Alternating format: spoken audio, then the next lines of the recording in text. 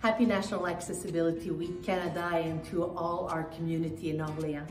The theme of National Accessibility Week 2024 is Forward Together, accessibility and inclusion for all. This is a time to celebrate the many incredible achievements and contributions that over 8 million Canadians with disabilities have made to our country.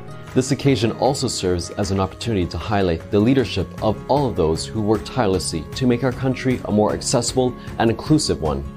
This week also features Red Shirt Day, a powerful movement where Canadians wear red on Wednesday to show solidarity support individuals with disabilities and their families, and reaffirm our commitment to fostering a fully accessible and inclusive society.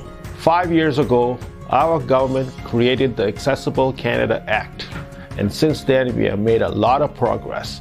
Progress that has only been possible because we work together the advocacy, advice, and invaluable partnership we have received from the community of people with disabilities has helped us improve the lives of thousands of Canadians with disabilities. But we know there's still a lot more that needs to be done.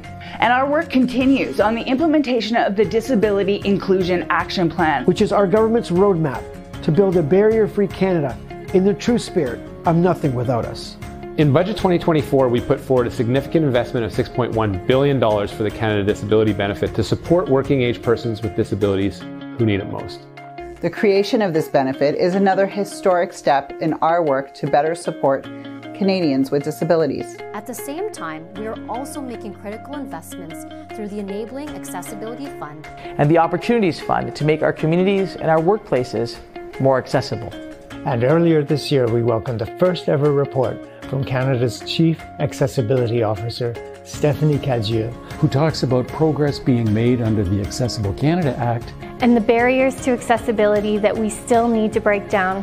While we celebrate this week and wear our red shirts on Wednesday, it also is a time to recommit ourselves to doing more to create a barrier free Canada. Wishing everyone from coast to coast to coast a very happy National Accessibility Week.